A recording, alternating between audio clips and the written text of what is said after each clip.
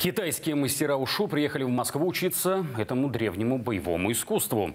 В студии наш спортивный обозреватель Ян Цельгородцева. Ян, здравствуйте. Ну вот не парадокс ли это, ведь ушу родом из Китая? Ну это так. Дело в том, что сейчас российские спортсмены уже могут дать фору большинству сборных. И на недавнем чемпионате мира выиграли четыре золотые медали. Чье ушу сильнее? Сегодня боевые гимнасты из России и Китая соревновались в мастерстве владения холодным оружием и техники боя.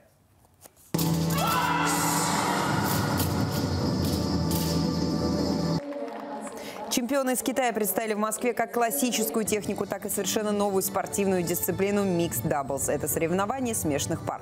Особый акцент китайские бойцы делали на философию шу, стремление к победе над более мощным противником без применения грубой физической силы. Со стороны техника мастеров скорее напоминает красочное шоу, однако этот танец вовсе не такой безобидный, каким выглядит со стороны. Когда мы выходим на ковер, мы э, сражаемся прежде всего с невидимым соперником. И э, все удары мы делаем боевые. То есть гимнастические здесь можно только назвать прыжки.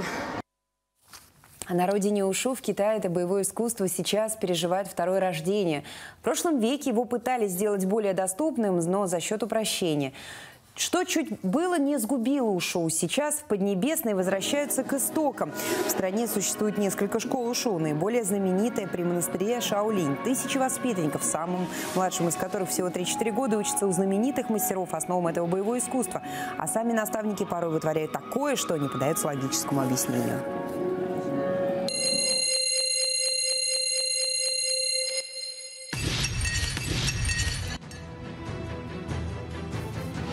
Между прочим, благодаря постоянным духовным практикам мастера ушу могут совершать настоящие чудеса, ходить по тончайшему фарфору, по ответственным стенам, подолгу стоять на кончиках пальцев или висеть в петле, не задыхаясь.